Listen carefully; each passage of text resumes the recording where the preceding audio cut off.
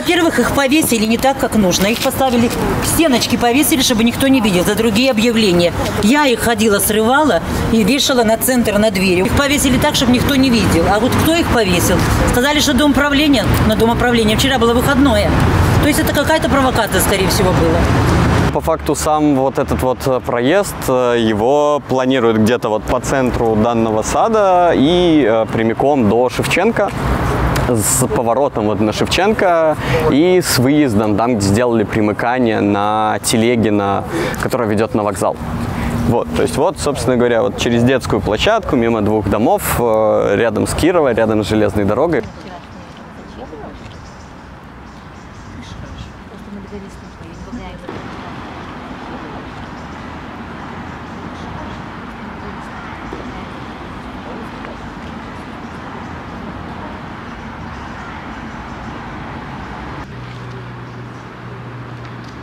Вчера немножко другое обсуждали, как будто бы влияние этого всего генплана на экологию, но по факту на самом генплане есть э, вот, этот вот, вот эта кишка, вот этот рудимент, который остался еще от старого плана, соединить вокзал э, через сквер, через Головацкого, две части Головацкого, и вывести в новые, тогда новые микрорайоны. Это 90-е, там начало нулевых. Тут уже появилась и Хатаевича, и Телегина, и много чего, что соединяет эти районы. Сказали, генплан будет обсуждаться, но обсуждаться это дело такое непонятно где и непонятно кем. Во-первых, это затруднит э, в целом жизнь в этом дворе, потому что был сквозной проезд лет, наверное, 15-20 назад, и его не просто так заделали, да, то есть э, вот здесь вот был как раз сквозной проезд. Все фуры поедут сюда, а у нас здесь, получается, расширили Кирова, железная дорога, и будет здесь еще четырехполосное шоссе. А теперь давайте представим, остается одна сторона дома, где еще не построили никакое шоссе и пока не планируют. Но вот если достроят, тогда будет очень хорошо и воздух свежий, ну, естественно, это сарказм, но как бы понимаете, понимаете, о чем речь, да, то есть здесь, здесь станет вообще невозможно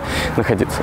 Вчера выступил мужчина с 15-го дома. Он поднял старую документацию какую-то во время застройки, когда было. Дело в том, что 15-й дом, он неправильно построен, с нарушением. Там под домом какие-то ключи бьют. То есть, если построить сейчас еще дорогу, то он вообще провалится. А то, что здесь был когда-то сквозная дорога была, вот мои соседи, никто не скажет, скажет, что я обманываю. У меня сестру здесь сбила машина маленькую. я ее на руках несла в операционную. Это не дай бог пережить кому. Мотоцикл еще кого-то сбил. Детки гуляли здесь, а тут раз хлоп, машина едет, раздавила котенка, они стоят и плачут, а он лежит, умирает. Ну что это, скажите? Будет четыре полосы, будет еще хуже. Вот Что здесь меняется? Пробок нету. Мы живем никогда ни утром, ни вечером здесь нету, Нету пробок, пробок. не стоит. Что разгружать? Конечно. Незагруженную улицу еще раз нет? разгрузить?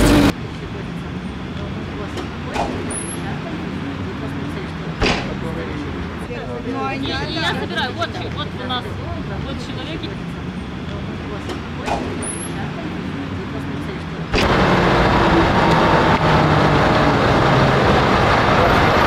Нам сказали, правда, что, возможно, дорогу эту строить здесь не будут. Никаких вопросов по ней так не решается. Но перед этим у нас были объявления на дверях, да, вот где было четко написано, что здесь планируется строительство четырехполосной дороги. На сайте есть информация, это что же очень важно, схема, да, на этом генплане есть, безусловно, есть вот этот вот отрезочек, но они сказали, что это еще не точно. Ну, конечно, если, если, если это есть на карте, то вероятность такая есть. Хотя вроде бы это будет обсуждаться уже вот в другое время. Самое важное для нас – это то, чтобы не было этой дороги. Вот все. И сейчас тоже мы не знаем, мы вот обсуждаем, мы просто в, в никуда.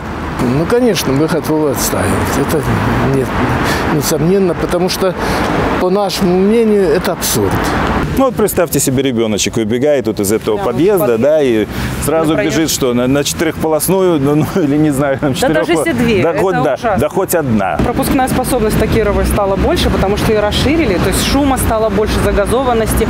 С другой стороны у нас железная дорога, то есть вы понимаете, мы и так зажаты, как в тисках, с двух сторон вот этими транспортными артериями. Да. И сейчас еще вот Сейчас еще вы. здесь перекрыть доступ к кислороду, но это совсем никак. Нам обещают, что дороги в четыре полосы не будет. То есть была сплошная игра слов. Никто не пообещал, что дороги не будет вообще. Никто не сказал, что не будет вырубки э, яблоневого сада, который лежит сегодня. Никто не, сказ- не гарантировал нам, что э, нашу территорию оставят нетронутым. Я как многодетная мать, у меня трое детей, я в первую очередь обеспокоена тем, что выбирая, скажем, себе место для жительства, я выбирала, чтобы у детей была детская площадка, и было благоустройство придомовой территории. Здесь идет пожарный проезд фактически. То есть в доме живут в основном либо молодые семьи с детьми, либо живут э, люди пенсионного возраста, потому что дом старый. И э, достаточно часто сюда приезжает скорая за, вот за этот год. Если здесь делают дорогу, у меня вопрос, что тогда будет с пожарными проездами? Куда приедет скорая? Где играть нашим детям? Так как сразу за домом у нас находится детский сад. Опять же, у нас есть частный сектор. Еще пять лет назад дома в этом частном секторе продавались, люди покупали, сделали ремонт этих домов. Все волнуются, потому что вчера на собрании сказали, что обсуждение, на которое мы пришли, будет через месяц. То есть никто не сказал, что его не будет.